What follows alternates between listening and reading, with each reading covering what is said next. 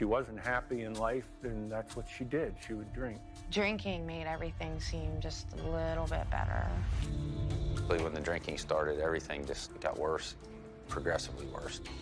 I can recall Jackie showing up at sporting events for our children intoxicated. I would find bottles of wine stuffed in behind her sweaters in the closet. Jackie was the epitome of a functioning alcoholic.